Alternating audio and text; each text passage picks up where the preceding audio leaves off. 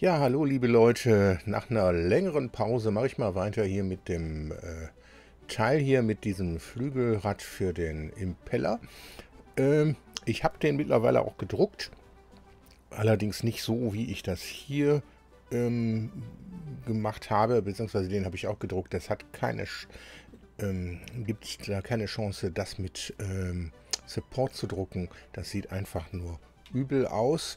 Deshalb muss man hier dafür sorgen, dass diese Flügel hier unten wirklich mit dem äh, hier mit abschließen, sodass man die wirklich liegend drucken kann. Ich habe das dann sogar mit dem ähm, Raft gedruckt, weil ähm, das sich so auch nicht drucken ließ, weil eben die Aufstandsfläche dieser Flügel hier zu gering war. Dann haben die sich so abgebogen. Mit dem Raft hat das dann ganz gut geklappt. Und natürlich habe ich auch hier noch was geändert gehabt. Aber jetzt machen wir erstmal das, was macht man, damit man die hier ähm, so drucken kann. Ähm, einmal sind die für einen Druck relativ flach vom Winkel her. Die kann man steiler stellen und wenn man die steiler stellen möchte, dann ähm, sollte man auch hergehen und nicht so viele nehmen. Ich habe ja hier, ich glaube, sieben Stück. Und das sollte man vielleicht mal auf 5 reduzieren. Das mache ich jetzt gerade einmal. Gehen wir hier auf das Polar Pattern, machen da eine 5 raus.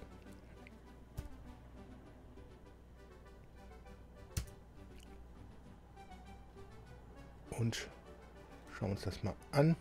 So, was jetzt direkt auffällt, ist, nö, das fällt nicht auf, das geht immer noch. Die Pocket geht, die Pocket geht auch. Ähm, also jetzt habe ich nur noch fünf von diesen Flügelchen. So, dann haben wir hier die Sketche. Einmal den inneren hier. Da haben wir, wenn ich das richtig sehe, hier einen Winkel festgelegt. Und den Winkel, den machen wir jetzt mal ganz locker auf 20 Grad. So, dann ist das ja hier irgendwo mit dem Abstand festgelegt. Das haben wir hier. Und den Abstand, den reduziere ich jetzt mal auf 3. Ja. Und dann können wir das vielleicht sogar noch ein bisschen weniger machen. 2,8 machen wir mal. So, und dann schneide ich das hier ab. Das heißt, da zeichne ich jetzt eine Linie ein von da nach da. Und dann machen wir hier das weg, das weg und das weg. Den können wir auch noch wegmachen. So, dann könnte man das auch wirklich so stehend drucken. Das heißt, diese 2,8, die merken wir uns einfach mal. So, jetzt muss man hier noch gucken, dass Teil hier, das bemaße ich jetzt einfach mal. Wo haben wir jetzt hier noch was? Okay, der wird natürlich hier drauf fixiert und schon ist das eine fixierte Zeichnung. Okay, nehmen wir die so, schließen das. Und dann machen wir das auch noch mit diesem Sketch hier. Das heißt, mal gucken, 2,8 und Winkel, der ist da auf 25 geworden. Den machen wir jetzt mal auf 35. Ja, dann können wir das hier ein bisschen 2,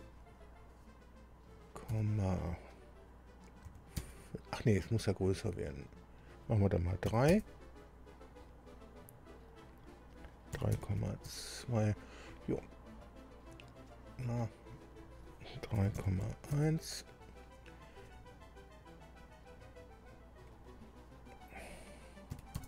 Machen wir ruhig die 3, dann haben wir es hier so schön abgeschnitten. So, da zeichnen wir jetzt auch wieder so eine Linie rein. Von da nach da. So, die ist jetzt auch hier drauf. Und dann machen wir wieder...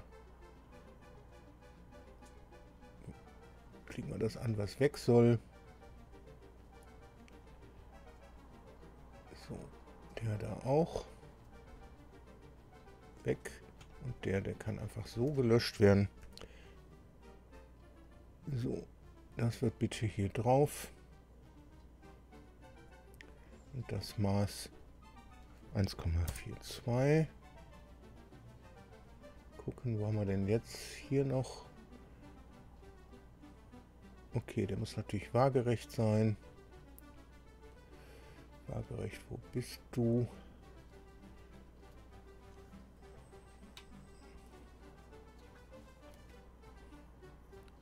Horizontal, H drücken. So, jetzt ist die auch eingeschränkt. Einmal schließen.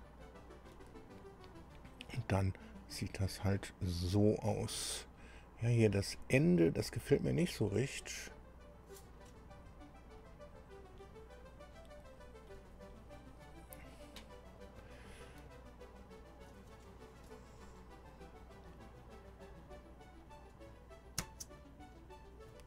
Hier hin, gucken uns den an. Der sieht eigentlich ganz vernünftig aus. Und das Polar Pattern davon, das sieht auch vernünftig aus. Aber hier mit äh, dem Pocket hier, da stimmt nicht alles. Gucken wir uns das mal an. Das liegt hier drauf.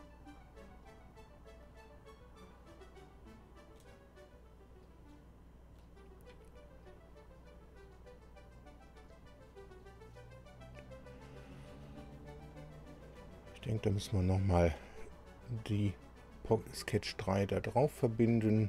Das machen wir mit dieser Funktion hier Sketch 003. Du bitte. Und dann klappt auch die Pocket.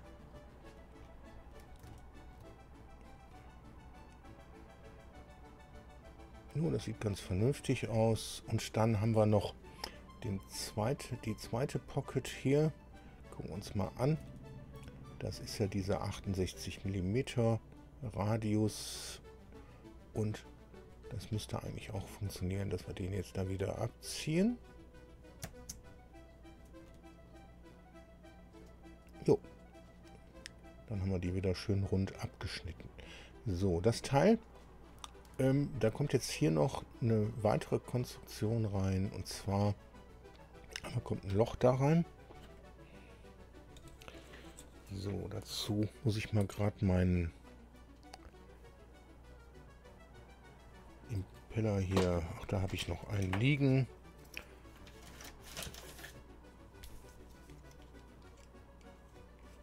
Was war das für ein Durchmesser? 4 mm. Das heißt, da kommt ein Loch rein. Zeichnung.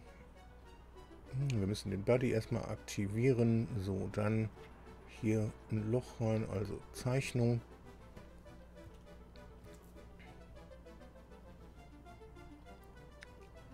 Loch. Durchmesser 4 mm. So, das wird eine Pocket. Und das durch alles.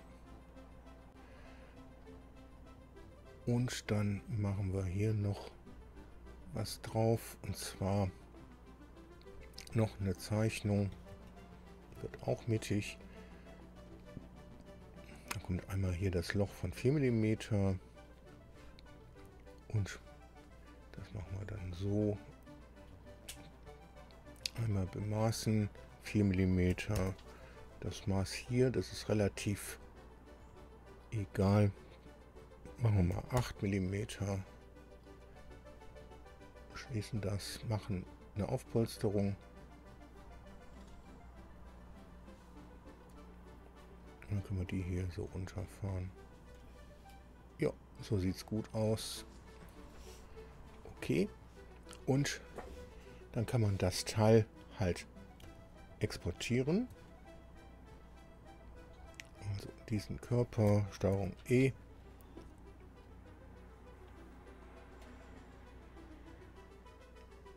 exportieren als STL und das machen wir ins Verzeichnis FreeCAD. Na, wo bist du? FreeCAD.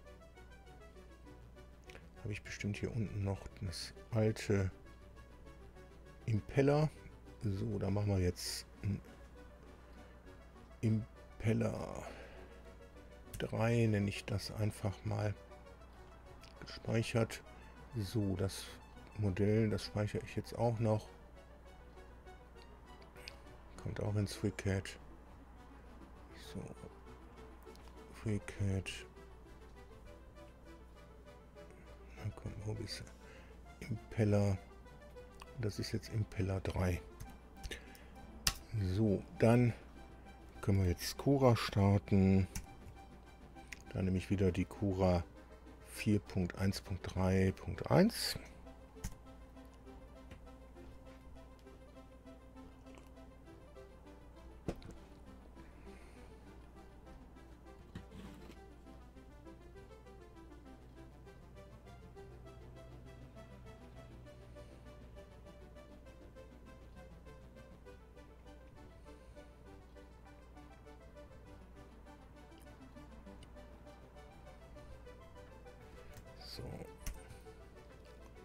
Öffnen. Das ist wieder... Cura dauert ewig und er nimmt auch nicht das, was ich geklickt habe. Und dann müssen wir jetzt wirklich hier wieder suchen nach dem FreeCAD und nach dem Impeller. Und dann ist das Impeller 3 Body Open. So, Impeller Blade, ähm, da wichtig, falls es noch aktiv ist. Ne, Stützstruktur habe ich schon ausgeschaltet. Kann man sich jetzt hier so anschauen und einfach slicen lassen. Gucken wir uns mal in der Vorschau an. So, das ist jetzt mit einem ähm, mit einem Raft. Was man hier sieht, das wird schwierig zu drucken sein am Ende da. Da müssen wir eventuell noch was am Modell ändern. Also gehen wir nochmal hier hin. Gucken uns diese Sketche hier an.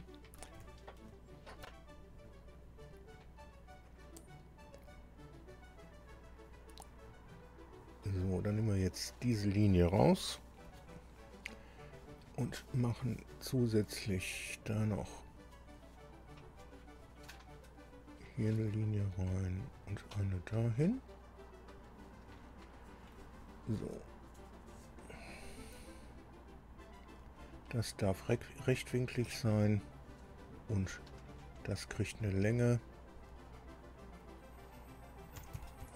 Ein halber Millimeter.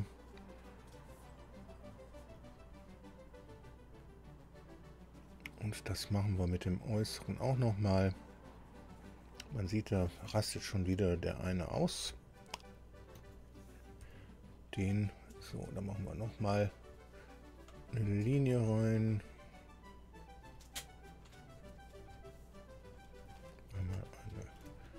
Da. Noch da. Und das wird rechtwinklig und das kriegt das Maß 0,5 mm.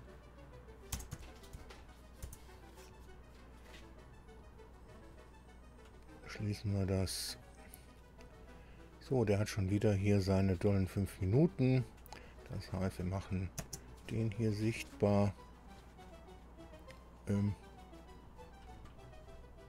da müssen wir wieder Sketch 003 da draufsetzen.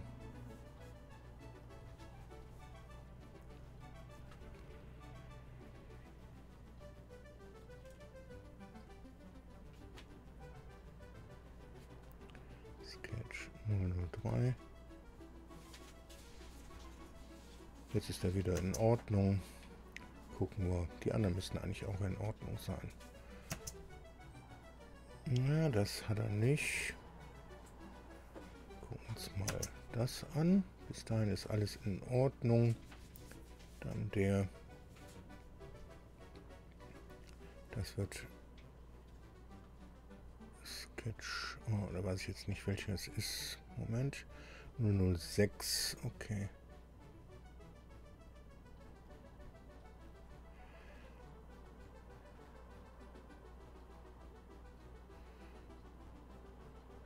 Pocket.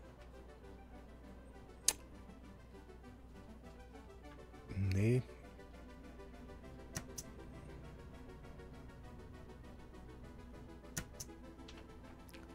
So, Pocket. Pocket. Rocket. Ach, der ist doch richtig. Der Pad ist Sketch 007. Da. Mal gucken, vielleicht klappt der auch. Pad. Ne, der klappt nicht. Du bitte. Sketch 007. Das macht er wieder nicht. Nochmal Sketch 007. Kann keine Skizze zur Unterstützung abbilden.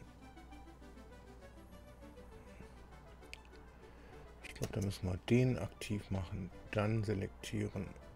Sketch 007.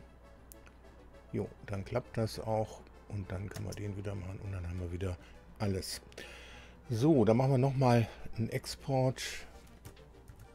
Ruhig in denselben, dieselbe STL-Datei. Einmal speichern noch die FECAT-Datei. Hier einmal neu laden und slicen. Und dann sieht das da schon besser aus mit den, dem Abschluss dieser Flügelchen. Okay, das Teil kann man jetzt drucken und ähm, dann habe ich schon äh, Salz in einem äh, Grinder oder Grinder wird das Ding genannt, habe ich das schon sehr fein gemahlen, damit ich dann hinterher im Backofen das äh, halt backen kann, dass das besser zusammenhält. Und dann kommen auch demnächst die Versuche mit dem, äh, wie heißt es, ähm, mit dem Drehen des Impellers mit hohen Drehzahlen. Das muss ich irgendwo machen. Ich denke mal im Keller oder was, ähm, wo eben ähm, nichts passieren kann. Und was man hier jetzt noch machen kann, ist die Einstellung der nicht die Dru hier Druckplattenhaftung Draft, da machen wir nur ein Scourge, weil dadurch, dass ich das jetzt hier so flach gemacht habe, ist der Aufstand eigentlich genug und so kriegt man wirklich sehr gut funktionierende Räder daraus. Aber das muss noch gedruckt werden. Okay, ich äh, danke fürs Zuschauen. Ähm, wenn euch solche Videos wie das hier gefallen, so lasst auch gerne ein Abonnement da. Klick auf die Glocke, ihr werdet über neue Videos informiert. Damit danke fürs Zuschauen und bis zum nächsten Video.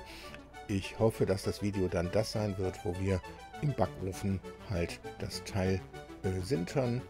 Nenne ich das jetzt einfach mal. Und das darauf folgende Video sollte dann sollten die Lauftests sein. Okay, dann bis zum nächsten Mal. Tschüss.